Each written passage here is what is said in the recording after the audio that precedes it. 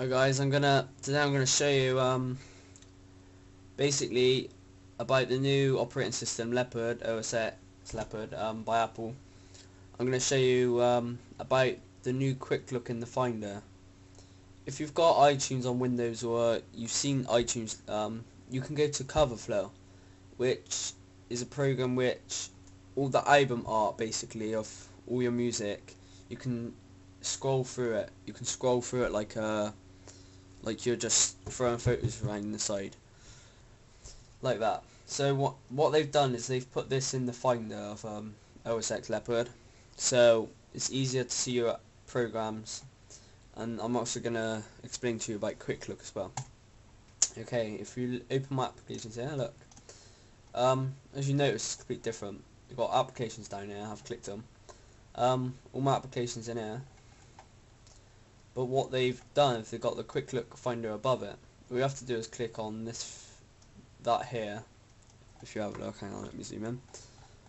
You have to do is click the furthest box there to enable quick look. This is how the folders um, are viewed. So basically if I zoom out I'll just show you like I'll just show you how the quick looks going so you see all my programs are opened and they're quite high quality and they have this effect where they throw to the side they angle out sideways icons. So it literally looks really 3D and it's a nice effect. So you see you just go through iMovie blah blah blah. And you don't have to click down here to open the application.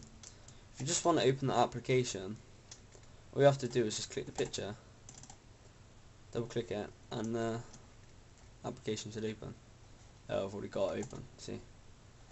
But, um, if we go back to where, what should I open? Um, open Firefox. Click it, it just opens. So that's a nice feature to have. Now I'm going to go um, explain to you is quick look in the Finder as well. And also, yeah, you can get this, or you could press spacebar to open the application as well if you want.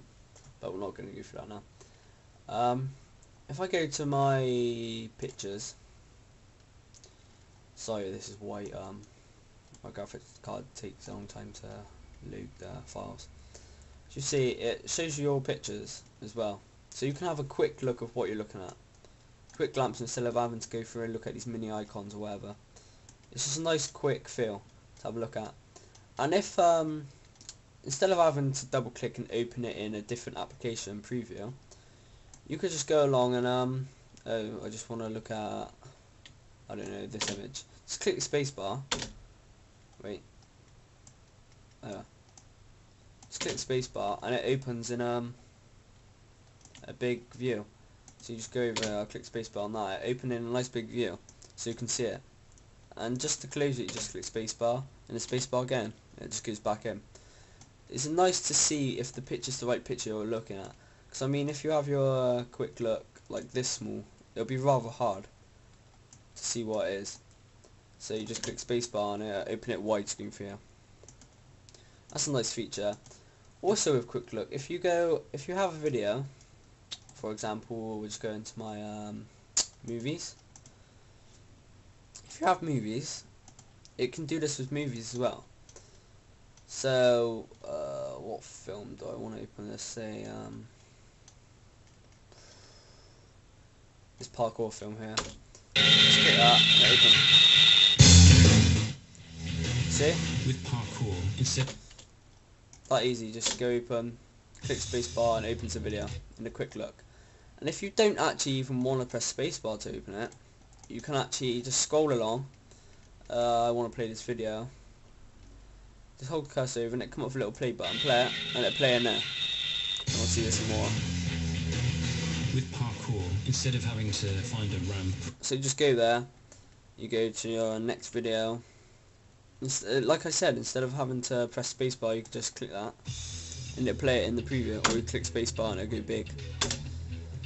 This is a very nice and eye candy feature in Leopard, and it is really nice to have. Instead of having to open all your files with QuickTime, which can take some time to open, you just have it right there in the Finder. It's right there for you.